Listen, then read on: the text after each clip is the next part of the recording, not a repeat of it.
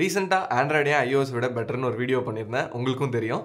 இந்த வீடியோவில் அப்படியே ஒரு யூட்டனை போட்டு ஐஓஎஸ் ஆண்ட்ராய்டை விட ஏன் பெட்டர் அப்படின்னு தான் பார்க்க போகிறோம் இன்னுமே ஐஃபோனை டெய்லி டிரைவராக யூஸ் பண்ணணும்னு கேட்டால் கிடையாது. I have my own reason but still iOS ஈகோசிஸ்டமில் இருக்க சில விஷயங்கள் ஆண்ட்ராய்ட்லேயும் இருந்தால் நல்லா இருக்கும்னு கூட நான் ஃபீல் பண்ணியிருக்கேன். ஸோ அதனால தான் இந்த வீடியோ எப்படியும் இந்த செப்டம்பர் மாதம் ஐஓஎஸ் ஃபிஃப்டீன் வரப்போகுது புது ஐஃபோன்லாம் வரப்போகுது. அதுக்கு முன்னாடி இந்த வீடியோவில் ஐஓஎஸ் ஆண்ட்ராய்டை விட ஏன் பெட்டர் அதை பற்றி தான் பார்க்க போகிறோம் நான் மோகன் நீங்கள் பார்த்து எஃப்டிஜே தமிழ். வாங்க வீடியோக்குள்ள போகலாம் கடந்த ஒரு பத்து வருஷமாகவே இந்த ஆண்ட்ராய்டு ஐஓஎஸ் பஞ்சாயத்து போயிட்டே தான் இருக்குது அது நம்ம எல்லாருக்குமே தெரியும். அந்த பஞ்சாயத்து நல்லா டெவலப் ஆகிட்டே தான் வருதே தவிர குறைஞ்ச மாதிரி தெரியல. என்ன தான் கூகுளும் ஆப்பிளும் மாறி மாறி அவங்களே காப்பி அடிச்சிட்டு இருந்தாலுமே அதில் இருக்க பிரச்சனை பெருசாக அங்கே இம்ப்ரூவ்மெண்ட்டுக்கு இடம் இல்லைன்னு தான் சொல்லணும். இருந்தாலும் ஆப்பிள் சில விஷயங்களை ரொம்ப நல்லா பண்ணியிருக்காங்க. அதை பற்றி தான் நம்ம பேச போகிறோம் முதல்ல ஈகோ சிஸ்டம் நீங்கள் இப்போ யார்கிட்டயா போய் எதுக்குப்பா அந்த ஐஃபோன் யூஸ் பண்ணுற அப்படின்னு கேட்டிங்கன்னா அவங்க கொடுக்குற முதல் ஆன்சர் ஈகோ சிஸ்டம் அப்படின்னு தான் இருக்கும். புரியுது? ஆப்பிள் ஈகோ சிஸ்டம் ஒன்றும் அவ்வளோ பாப்புலரில் தான். இதுக்கே அதிர்ச்சியான அப்படி. நிறைய பேர் வந்து அந்த ப்ளூ கலர் பபுள் ஐக்கான் எனக்கு ரொம்ப பிடிக்கும் ஐ மெசேஜில் அதனால் ஐஃபோன் யூஸ் பண்ணலாம் சொல்லியிருக்காங்க. அதுக்கு இந்த ஈகோ சிஸ்டம் பதில் எவ்வளோ பரவாயில்ல. சரி இதெல்லாம் விடுவோம். முக்கியமான ரீசன் என்ன அந்த ஈகோ சிஸ்டமில் இருக்க இன்டெகிரேஷன் தான். உதாரணத்துக்கு அந்த சைட் கார் எடுத்துப்போமே. இப்போது உங்கள் பழைய ஐபேட் இருக்குன்னா அதை நீங்கள் வந்து ஒரு மானிட்டராக யூஸ் பண்ணலாம். அதாவது உங்கள் டிஸ்பிளே மிரர் பண்ணுறதுக்கோ இல்லை காசு பண்ணுறதுக்கோ யூஸ் பண்ணலாம். ஒரு ஆப்பிள் பென்சில் இருந்தால் உங்கள் ஐபேட் சூப்பர் ஆகிடுமே ஃபோட்டோஷாப் யூஸ் பண்ணலாம் இல்லுஸ்ட்ரேட்டர் யூஸ் பண்ணலாம். க்ரியேட்டிவிட்டி இன்னும் பில்ட் பண்ணலாம். அடுத்து ஹேண்ட் ஆஃப் இது ரொம்பவே யூஸ்ஃபுல்லாக இருக்கும். இப்போ நீங்கள் ஒரு ஐஓஎஸ் மேக்ஓஎஸ் டிவைஸ் யூஸ் பண்ணிட்டு இருக்கீங்களா அப்படியே மாறி மாறி யூஸ் பண்ணுறதுக்கு இது ரொம்பவே ஹெல்ப்ஃபுல்லாக இருக்கும். சரி இந்த இக்கோ சிஸ்டம் சாஃப்ட்வேரோட முடிஞ்சிச்சான்னு கேட்டால் அதான் இல்லை. ஹார்ட்வேர்லேயும் மாஸ் பண்ணிட்டு இருக்காங்கன்னு தான் சொல்லணும். ஏர்பாட்ஸாக இருக்கலாம் ஆப்பிள் வாட்சாக இருக்கலாம் இல்லை ஓம் பாட் ஓம் பாட் ஓம் பாட் எஸ் ஓம் பாட் தான். பக்காவாக ஒர்க் பண்ணும் ஐஓஎஸ் டிவைசஸ் கூட. அதில் இருக்க டபிள்யூ ஒன் சிப் இன்டெகிரேஷன் சூப்பராக இருக்கும் ஏர்பாட்ஸ் இவ்வளோ ஏன் தேர்ட் பார்ட்டி ஆக்சசரிஸ் அதாவது நம்ம பீட்ஸ் ஆடியோ ப்ராடக்ட்ஸ் இருக்குல்ல அதுலேயுமே பேரிங் பக்காவாக கொடுத்துருப்பாங்க. இது பத்தாதுன்னு புதுசாக வந்த ஐஃபோன் கூட மேக் சேஃப் அந்த ஈகோ சிஸ்டம்குள்ளே பிடிச்சி போடுறதுக்கு என்னெல்லாம் பண்ண முடியுமோ எல்லாத்தையுமே ஆப்பிள் பண்ணிட்டு தான் இருக்காங்க. அடுத்தது third party support so tech சேனலில் இருக்கும். ஐஓஎஸ் ஆண்ட்ராய்டு இதெல்லாமே யூஸ் பண்ணி தான் ஒரு வழியே கிடையாது. ஆனால் இதில் எனக்கு பிடிச்ச விஷயம்னா தேர்ட் பார்ட்டி சப்போர்ட்டு தான். ஐஓஎஸில் அது ப்ராப்பராக பண்ணியிருக்காங்க காரணம் என்னென்னா வருஷத்துக்கு ஐஃபோனில் கம்மியான ஃபோன்ஸ் தான் வருது சில வேரியன்ட்ஸ் தான். ஸோ டெவலப்பர்ஸ்க்கு ப்ரோக்ராம் பண்ணுறது ரொம்பவே சிம்பிளாக இருக்கும் தேர்ட் பார்ட்டிக்கு ஆனால் ஆண்ட்ராய்டில் கதையே வேறு. வருஷத்துக்கு டன் கணக்கில் ஃபோன் லான்ச் பண்ணுறாங்க ஸோ அதெல்லாம் வந்து அவ்வளோ ஈஸியாக பண்ணிட முடியாது. இதுக்கு ஒரு சரியான எக்ஸாம்பிள் சொல்லவா? ஸ்னாப் சாட் ஆண்ட்ராய்ட் ஃபோன்ஸ்லாம் ஸ்னாப் சாட் ஏன் மொக்கையாக இருக்குன்னு யாராவது ஃபீல் பண்ணியிருக்கீங்களா வேறு ஒன்றும் இல்லை. இப்போ நீங்கள் உங்கள் ஃபோன் எடுத்து ஸ்னாப் சாட் ஓப்பன் பண்ணிங்கன்னா கேமரா ஆன் ஆகும். ஆன் ஆனோடனே நீங்கள் ஃபோட்டோ எடுக்கிறீங்க. அது ஆக்சுவலாக ஃபோட்டோ கிடையாது. உங்கள் வியூ ஃபைண்டரில் வர ஸ்க்ரீன்ஷாட் தான்.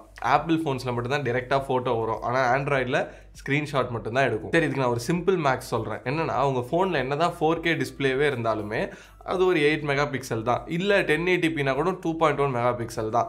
ஸோ இதிலேருந்து தப்பிச்ச ஒரே ஃபோன்னா நம்ம எஸ் டுவெண்ட்டி ஒன் சீரிஸ் தான். அதில் பார்த்தீங்கன்னா ஆண்ட்ராய்டோட கேமரா எக்ஸ் லைப்ரரி அதாவது கேமரா சென்சரை எனேபிள் பண்ணி ஃபோட்டோஸ் எடுக்க வைக்கும் ஸ்னாப் சாட்டில் ஸோ அந்த ஃபோனில் ஸ்னாப் நல்லாவே இருக்கும். அடுத்தபடியாக ப்ரைவசி இன்னைக்கு நிலைமைக்கு ப்ரைவசின்றதே ஒரு போங்கு தான். அதில் ஒன்றுமே கிடையாது. ஆனால் ஐஓஎஸ்னு வரையில் அவங்க கொஞ்சம் மேட்ரு உள்ளே போட்டிருக்காங்கன்னு தான் சொல்லணும். உதாரணத்துக்கு இப்போ ஐஓஎஸ் ஃபோர்டீனில் ஆப்பிள் ஆப் ட்ராக்கிங் நோட்டிஃபிகேஷன் ஒன்று கொண்டு வந்தாங்க. அதாவது என்னென்னா இப்போ யூசர்ஸ் வந்து அந்த ஆப் ட்ராக்கிங்லேருந்து எஸ்கேப் ஆகலாம். For example Facebook Instagram Amazon இந்த மாதிரி நிறைய சைட்ஸில் உங்கள் டேட்டாவை ட்ராக் பண்ணுவாங்க அனலைசேஷனுக்கு ஸோ இதுலேருந்து நீங்கள் தப்பிச்சிடலாம். நீங்கள் ஆட்ஸ் தேவையில்லாமல் வர்றதை அவாய்ட் பண்ணிக்கலாம். இந்த ப்ராடக்ட் சஜஷன்லாம் எஸ்கேப் ஆகிடலாம் இதை வச்சு யூசர்ஸ் சில ஆப்ஸை பிளாக் பண்ணலாம். அதாவது டேட்டாவை ஆக்சஸ் பண்ணாமல் இருக்கிறதுக்கோ இல்லை பேக்ரவுண்டில் மைக் கேமரா ரன் ஆகாமல் இருக்கிறதுக்கோ இதெல்லாம் ப்ரிவென்ட் பண்ணிக்கலாம். லேட்டஸ்ட் ஆண்ட்ராய்டு அப்டேட்டில் ஆப்ஸுக்கு எப்போல்லாம் தேவையோ அப்போ மட்டும் இதுக்கெல்லாம் பெர்மிஷன் கொடுக்குற மாதிரி எனேபிள் பண்ணியிருக்காங்க தான். என்ன தான் பண்ணாலும் இது ஐஓஎஸ் கிட்ட வருமான்னு கேட்டால் அதுக்கு இன்னும் ரொம்ப நாளாக தான் சொல்லணும். ஆப்பிளோட இன்டெகிரேஷன் அதாவது touch ID face ID Apple ID இது எல்லாமே பக்காவாக ஒர்க் ஆகும். நீங்கள் ஒரு ஆப்பிள் ஃபோன் யூஸ் பண்ணையில் ஆன்லைன் பேமெண்ட்லாம் பண்ணிங்கன்னா பீஸ்ஃபுல்லாக பண்ணலாம். எந்த பிரச்சனையும் இருக்காது. நான் ஒரு விஷயம் தெளிவாக சொல்லிடுறேன். ஆப்பிள்கிட்டேயும் உங்கள் டேட்டா இருக்குதான் கூகுள் கிட்டேயும் உங்கள் டேட்டாஸ்லாம் இருக்குதான் ஆனால் இது அவங்க கூகுள் மற்றவங்க கூட ஷேர் பண்ணுறாங்க ஆப்பிள் யார் கூடயும் ஷேர் பண்ணல. இதுதான் நல்லது. ஸோ இந்த ரெண்டு கெட்டதில் எது உங்களுக்கு தேவையான கெட்டதோ அதை நீங்களே சூஸ் பண்ணிடுங்க அடுத்ததாக பிளாட்வேர் எனக்கு ஆண்ட்ராய்டில் பிடிக்காத கடுப்பேற்றுற ஒரு விஷயம்னா பிளாட்வேர் ப்ரீ இன்ஸ்டால்ட் ஆப்ஸ் தான். புதுசாக ஒரு ஃபோன் வாங்கல கூட சேர்த்து கொடுத்துருவாங்க. இவ்வளோ ஏன்? நீங்கள் காசு கொடுத்து வாங்குற ப்ரீமியம் ஃப்ளாக்ஷிப்ஸ் எல்லாமே இப்போலாம் பிளாட்வேரோட தான் வருது. நினச்சி பாருங்களேன் நீங்கள் ஒரு ஃபோனை புதுசாக வாங்கி செட்டப் பண்ணும்போது பார்த்தா அதில் பிளாட்வேர் எவ்வளோ கடுப்பு கடுப்பாக இருக்கும். இதை உட்காந்து அன்இன்ஸ்டால் பண்ணிட்டு கிளியர் பண்ணிட்டு ஃபைன் பண்ணால் போயிடும் சில ஆப்ஸ் பண்ண முடியாது. ஆனால் எதுக்கு இதை நான் பண்ணணும்? இவ்வளோ காசு கொடுத்து ஒரு புது ஃபோனை வாங்கி. எனக்கு என்ன தான் ஐஃபோனில் இருக்க ஹோம் ஸ்க்ரீன் செட்டப் இந்த மெனு இல்லாதெல்லாம் பிடிக்காம இருந்தாலுமே ஐஃபோனில் எனக்கு ரொம்ப பிடிச்ச விஷயம் இந்த பிளாட்வேர் இல்லாமல் இருக்கிறது தான். நீங்கள் ஆயிரம் டாலருக்கு மேலே ஃபோன் கொடுத்து ஒரு ஆண்ட்ராய்ட் ஃபோன் வாங்கினாலும் அதில் பிளாட்டோ இல்லை டூப்ளிகேட் ஆப்ஸோ இருக்க போகுது இதில் பெரிய கல்பிரிட் யாருன்னா நம்ம சாம்சங் தான். ப்ரௌசரு கேலண்டரு கால்குலேட்டர் இது எல்லாத்துக்கும் டூப்ளிகேட் ஆட் போட்டு வச்சுருவாங்க. இவ்வளோ ஏன்? அல்ட்ராஸ் ஃபோல்ஸ் இது எல்லாத்துலேயுமே அன்னெசரி பிளாட்டோ தேவையில்லாத இந்த டூப்ளிகேட் ஆப்ஸோ இருக்க தான் செய்யுது. இன்னும் ஓவர்சீஸ்லாம் போயிட்டிங்கன்னா கொடுமை. கெரியர் லாக் ஃபோன்ஸ் வாங்கினீங்கன்னா தேவையில்லாத வியர்டான ஆப்ஸ் வேஸ்டான ஆப்ஸ் எல்லாமே ஃபோன் கூட வரும். இந்த செக்மெண்ட் தான் இந்த லிஸ்ட்லேயே ரொம்ப முக்கியமான segment software update Android phone ஐஃபோனை இது கூட கம்பேரே பண்ண முடியாது. நிறைய ஆண்ட்ராய்ட் ஃபோன் நாங்கள் இத்தனை வருஷம் சாஃப்ட்வேர் அப்டேட் தரோம் ப்ராமிஸ் பண்ணிலாம் அதை கைவிட்ட கதெல்லாம் இருக்குது இவ்வளோ அது நல்ல செல்லிங் ஃபோனாகவே கூட இருந்திருக்கும். இருந்தாலும் இதே தான் பண்ணியிருப்பாங்க. சில நேரம் அப்டேட் வரும் ஆனால் பக்ஸோடு வரும். அது வந்து ஃபோனை இன்னும் கொஞ்சம் மோசமாக்கும். சில நேரம் ஃபோன் ரிஸ்க்கான ஸ்டோரிலாம் இருக்குது அப்டேட்ஸில்.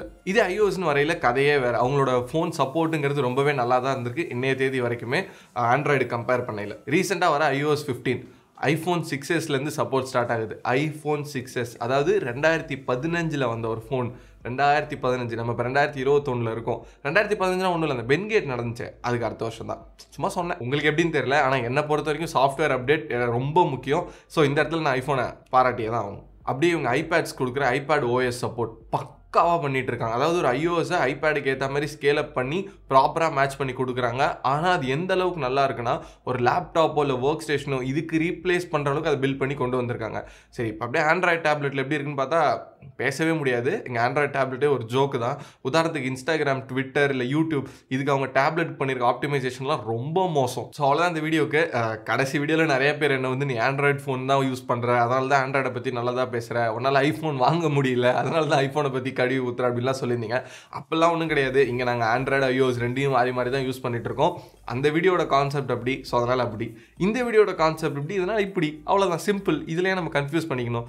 எனக்கு தெரியும். இந்த வீடியோ கமெண்ட்லேயே நிறையா பேர் வந்து நீ ஐஃபோன் ஃபேன் அதனால தான் இப்படி பேசுகிறேன்னு சொல்ல போகிறீங்க வாங்க வாங்க கமெண்ட்டில் பேசலாம். ஸோ மறக்காமல் கமெண்ட் பண்ணுங்கள் நான் மோகன் நீங்கள் பார்த்துருந்த எஃப்டிஜே தமிழ். அடுத்த வீடியோவில் சந்திப்போம். பாய்